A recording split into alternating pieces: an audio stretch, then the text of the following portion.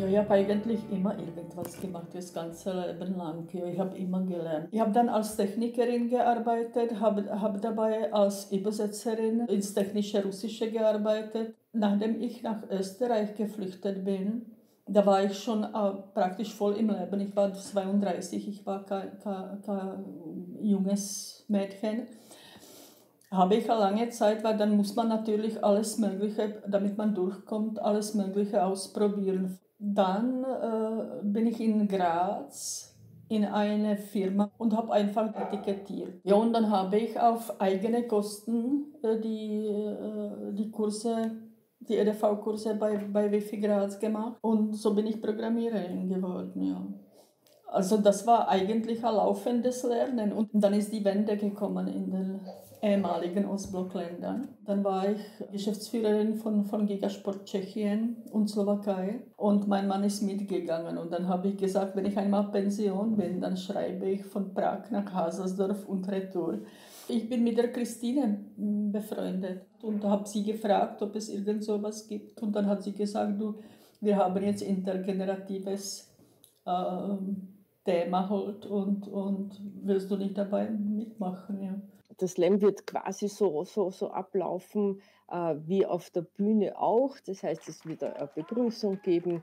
Ich werde moderieren, ich werde quasi die Spielregeln erklären, werde einen kurzen Opferlamm-Text machen, äh, der einfach die Nervosität nehmen soll, quasi, dass niemand die oder der Erste sein muss und äh, gleichzeitig für die Abstimmung quasi den, den Pegelstand setzt. Also es wird eine, eine, eine Abstimmung geben wie bei einem richtigen Slam. Wir werden das über eine Online-Umfrage machen und letztendlich wird es auch eine Siegerin oder einen Sieger geben. Die Frage ist nur, ob es tatsächlich nicht zu politisch ist, ob es nicht ein äh, anstrengendes Thema ist. Ja, das bin ich mir nicht ganz Na, sicher. Ich liebe, ich liebe politische, anstrengende Themen.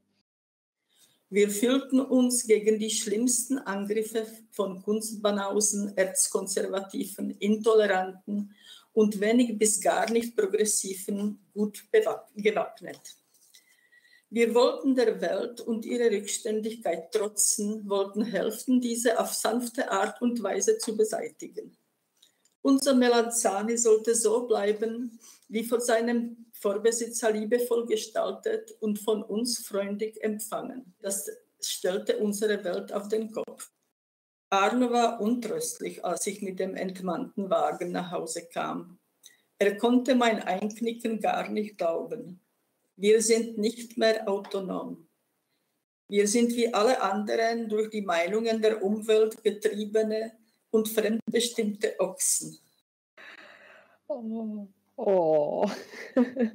was für eine wunderschöne Geschichte es, es gibt ja ein paar so typische äh, Textsparten im, im Slam und einer ist, ist, ist eben diese, dieses erzählerische, anekdotenhafte aus, aus, aus dem eigenen Leben, an dem man auch ein bisschen so die Welt verhandelt. Und das äh, finde ich gelingt da sehr schön, weil man natürlich sofort anfängt, Assoziationen zu spinnen, äh, quasi wo man sich sonst durch die Meinung anderer von Dingen abbringen lässt, an die man ursprünglich eigentlich geglaubt hätte. Ich finde es super, dass die, diese Mischung von diesem Lustigen und um, das Auto aufgebaut und dann die, die ganze Geschichte, die du dazu gepackt hast und da eben den wahren Hintergrund dazu. Und die, diese Mischung finde ich einfach ganz nett. Fand ich total spannend und jedes Auto hat da seine, seine Geschichte, oder? So, das ist so ein Lebensabschnitt, den man da so damit verbindet.